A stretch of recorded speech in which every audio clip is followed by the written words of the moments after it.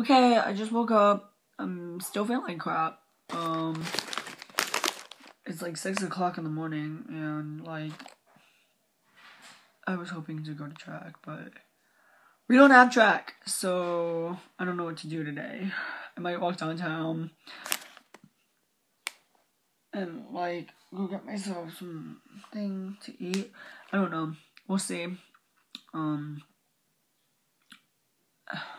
this is not an edited vlog.